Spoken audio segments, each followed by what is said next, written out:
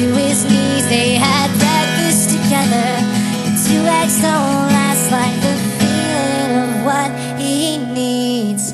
Now this place seems familiar to him. She pulled on his hand with a devilish grin. She led him upstairs. She led him upstairs, left him dying to get in.